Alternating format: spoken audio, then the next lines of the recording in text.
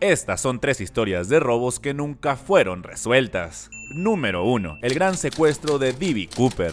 Era una tarde lluviosa del 24 de noviembre de 1971 cuando un hombre con aspecto común se presentó en el mostrador de la aerolínea Northwest Orient en el aeropuerto de Portland. El hombre, que se identificó como Dan Cooper, había comprado un billete de ida a Seattle en un vuelo de la aerolínea. Y a pesar de su apariencia ordinaria, su historia se convertiría en una de las más desconcertantes en la historia de la aviación. Cooper, un hombre de aproximadamente 40 años, vestía un traje gris, corbata negra y llevaba una maleta de mano. Después de abordar el vuelo 305, se acomodó en un asiento cerca de la parte trasera del avión. Durante el vuelo, Cooper entregó una nota a la azafata en la que decía que tenía una boom boom y que la iba a detonar si no le entregaban 200 mil dólares en billetes de 20 dólares, 4 paracaídas y un tanque de combustible para el avión. Ante estas amenazas, los miembros de la tripulación, preocupados pero tratando de mantener la calma, notificaron a la policía una vez que el avión aterrizó en su destino. Una vez en Seattle, Cooper exigió de nuevo dinero y combustible a las autoridades y estas de inmediato aceptaron las demandas de Cooper bajo la condición de que liberaría a los pasajeros. Y tal y como lo prometió tras recibir el dinero y los paracaídas, Cooper liberó a los 36 pasajeros y se quedó solo con la tripulación. Es así que una vez con el dinero en sus manos, el combustible para el avión, los paracaídas y con una tripulación de viaje a su disposición, Cooper le dio instrucciones al piloto para que volara en el avión a México con una escala de repostaje en Reno, Nevada. Durante el vuelo, Cooper le mostró a la tripulación que tenía una boom, aunque nunca la hizo detonar. El caso es que a medida que el avión volaba sobre el noroeste del Pacífico en una noche tormentosa, Cooper se ató el paracaídas y se lanzó desde el avión con el dinero. Sin embargo, la exactitud de su salto es desconocida y nunca se volvió a ver a Cooper. Luego de esto, el avión aterrizó sin incidentes y la búsqueda inmediata no arrojó resultados, por lo que esta vez las autoridades se enfrentaban a un misterio sin precedentes y se preguntaban sin descanso dónde estaba Cooper y qué había hecho con el dinero. Es así que el FBI asumió el caso como uno de los más grandes y complejos de su historia, comenzando una extensa investigación. Se realizaron búsquedas exhaustivas en la región, pero Cooper parecía haber desaparecido sin dejar rastro. Y aunque se realizaron muchos intentos de localizar a Cooper y se siguieron varias pistas, el caso pronto se convirtió en uno de los más grandes enigmas sin resolver en la historia criminal. Es de esta manera que en 1980, casi nueve años después del secuestro, un niño llamado Brian Ingram encontró un paquete de billetes de 20 dólares mientras jugaba en la playa en el río Columbia, cerca del área donde se cree que Cooper podría haber aterrizado. El paquete contenía 5.800 dólares en billetes que coincidían con la serie que se había entregado a Cooper. No obstante, aunque el hallazgo fue un importante avance, no proporcionó pistas sobre la identidad de Cooper o su paradero final. El caso es que a pesar de la extensa investigación y los esfuerzos para resolver el caso, la identidad de D.B. Cooper y su destino final permanecen un misterio. Pues la falta de evidencia concluyente, la desaparición del dinero y la ausencia de testigos oculares que pudieran proporcionar detalles precisos hicieron que el caso se convirtiera en uno de los más enigmáticos en la historia de la aviación y el crimen. Algunos creen que Cooper pudo haber sido un veterano de guerra con experiencia en paracaidismo, mientras que otros sugieren que pudo haber sido un criminal profesional con un plan meticulosamente ejecutado. Pero nunca sabremos qué fue lo que pasó en realidad, y al final el FBI cerró oficialmente la investigación en 2016. Número 2. El fantasma noruego y el tesoro desaparecido. Para esta siguiente historia nos trasladamos a Oslo, Noruega, a finales del invierno de 1994. El Museo de Arte de Oslo, con su fachada neoclásica y sus importantes columnas, se alza como un monumento a la cultura y la historia, pues dentro de sus elegantes corredores se encuentra el grito, uno de los mayores tesoros del arte moderno. Esta pintura, famosa por su angustiante expresión y vibrantes colores, atrae miles de visitas cada año, pero ese invierno el museo se convertiría en el escenario de una historia de crimen que desafiaría toda lógica. En el corazón de esta trama está Paul Lenger, un hombre que ya comienza a sonar entre los círculos del crimen organizado como una leyenda. Conocido como el fantasma noruego, Enger no es un criminal cualquiera. Este hombre, de aspecto enigmático y de mente afilada como un cuchillo, había pasado meses planificando uno de los robos más audaces de la historia, y para lograrlo reunió un equipo de élite para ejecutar su plan. Entre ellos había un experto en tecnología, un ladrón de alta gama y un ingeniero de seguridad. Juntos alquilaron un pequeño local junto al lado del museo, el cual usarían como base de operaciones. Este local era un centro de actividades encubiertas, planos de museo, equipos de hacking y herramientas de última generación llenaban el espacio, ya que la primera tarea era infiltrarse en el sistema de seguridad del museo.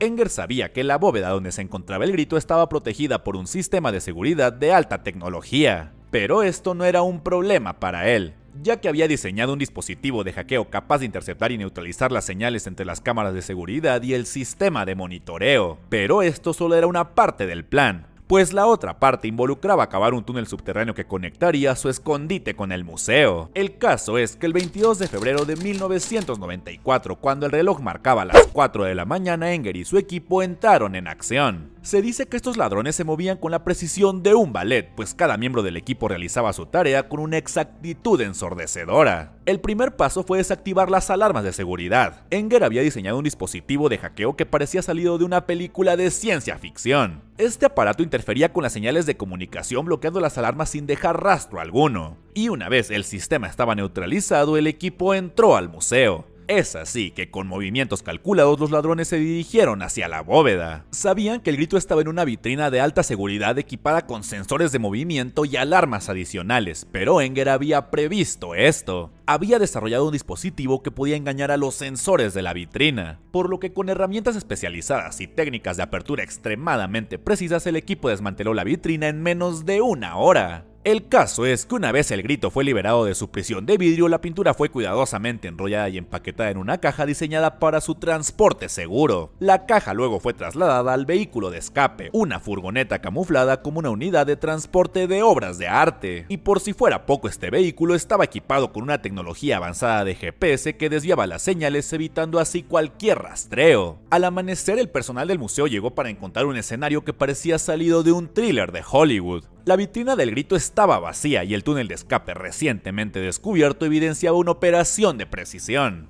La noticia del robo se propagó rápidamente, convirtiéndose en un escándalo internacional. La prensa y los medios estaban en frenesí y el robo captó la atención de autoridades de todo el mundo. Es por esto que las investigaciones se pusieron en marcha de inmediato. La policía noruega junto con el FBI y otras agencias internacionales se unieron en una búsqueda exhaustiva. Sin embargo, el robo había sido tan meticulosamente ejecutado que las cámaras de seguridad habían sido manipuladas para no registrar nada útil además de que las pruebas físicas en el lugar del crimen eran escasas y las pistas eran prácticamente inexistentes. Es así que en 1996, dos años después del robo, la historia dio un giro sorprendente. Un informante anónimo contactó a las autoridades afirmando tener información crucial sobre el paradero del grito describió un depósito en Copenhague, Dinamarca, donde supuestamente se encontraba esta pintura, y la policía, llena de esperanza, se lanzó a la investigación. Es de esta manera que la policía realizó un allanamiento del depósito con gran expectación solo para descubrir que estaba vacío. Las investigaciones revelaron que el informante era un farsante que había manipulado a las autoridades para obtener una recompensa, pues las pistas que proporcionó eran falsas y el depósito no tenía ninguna relación con el robo.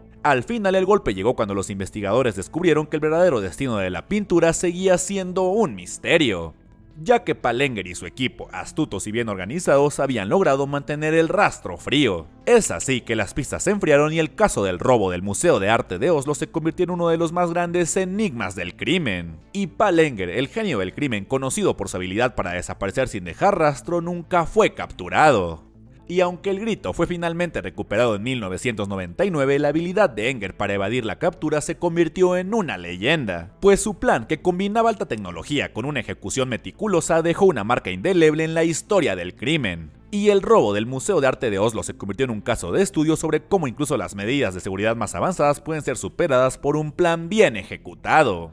Es así que la historia del fantasma noruego continúa fascinando a los expertos en criminología y a los aficionados del crimen, demostrando que la creatividad y el ingenio pueden desafiar incluso los sistemas de seguridad más sofisticados.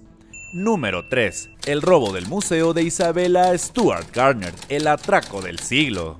Imagina que estás en el histórico Museo Isabella Stuart Gardner en Boston, Massachusetts en la noche del 18 al 19 de marzo de 1990. Este museo es como el paraíso para los amantes del arte, con su fachada de ladrillo rojo y su interior lleno de tesoros invaluables. Fundado por la filántropa Isabella Stuart Gardner, el museo no solo es conocido por su impresionante colección, sino también por su ambiente único y sus elegantes galerías. Entre las joyas del museo se encuentran obras maestras como Vermeer, Rembrandt y Degas. Sin embargo, lo que el personal del museo no sabía era que esa noche un grupo de ladrones estaba a punto de llevar a cabo uno de los robos más audaces de la historia del arte. Los ladrones, que más tarde serían conocidos como los ladrones del Garner, habían planeado su golpe con una meticulosidad que solo un criminal profesional podría lograr y aunque la identidad completa del equipo sigue siendo un misterio, se sabe que el plan se ejecutó con una precisión asombrosa. La noche del robo, dos hombres vestidos como policías se presentaron en la entrada del museo, y en una jugada audaz se hicieron pasar por oficiales de policía que respondían a una llamada de una posible intrusión en el museo. Cuando llegaron, el guardia de seguridad, que estaba en su turno nocturno, les permitió la entrada, pensando que estaban allí para una verificación rutinaria.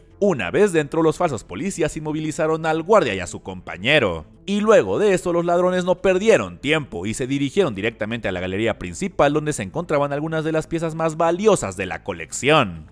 Pues los ladrones sabían exactamente a dónde ir y qué hacer, y sin dudarlo se dirigieron a las galerías más importantes como la galería de Vermeer donde se encontraba el concierto. Es así que usando herramientas avanzadas y técnicas de desarme, los ladrones desactivaron las alarmas y rompieron los marcos de las pinturas para sacarlas de las paredes sin dañar las obras de arte. Y en cuestión de minutos habían descolgado y empaquetado las piezas maestras, incluyendo entre ellas el concierto de Vermeer, la tormenta en el mar de Galilea, la cumbre de la garganta y las tres cruces. Es de esta manera que a las 2.45 de la madrugada los ladrones abandonaron el museo con el botín en su furgoneta. Habían pasado menos de 81 minutos en el interior y se habían robado 500 millones de dólares. Y el robo se realizó con una precisión que dejó a las autoridades boquiabiertas. Es así que a las 8 de la mañana, cuando los empleados del museo llegaron para comenzar su jornada, se encontraron con una escena de pesadilla. Las paredes de la galería estaban vacías, las alarmas aún sonaban y las pinturas habían sin dejar rastro. Ante esto las autoridades, incluidas la policía de Boston y el FBI, comenzaron una investigación intensiva. Se realizaron redadas, se interrogaron testigos y se revisaron todas las cámaras de seguridad, pero nada parecía ayudar. Además de que las grabaciones de seguridad del museo se habían cortado misteriosamente justo antes del robo, y las pocas pruebas disponibles no proporcionaban pistas claras sobre la identidad de los ladrones. Y aquí es donde la historia toma un giro inesperado, pues a pesar de una búsqueda exhaustiva y el ofrecimiento de una recompensa multibillonaria por cualquier información sobre el robo, el paradero de las pinturas sigue siendo un misterio. Los ladrones desaparecieron sin dejar rastro y la identidad completa del equipo de criminales nunca fue descubierta. Las teorías sobre el destino de las obras de arte robadas varían. Algunos sugieren que las pinturas fueron vendidas en el mercado negro, mientras que otros creen que podrían haber sido destruidas para evitar su rastreo. En 2004 el FBI lanzó una campaña pública para resolver el caso, ofreciendo una recompensa de 5 millones de dólares por información que condujera a la recuperación de las obras. Pero a pesar de esto las pinturas robadas siguen desaparecidas. Banda, pues con esto llegamos al final de esta nueva sección en el canal. Espero les haya gustado y díganme qué otro tipo de historias les gustaría que contara.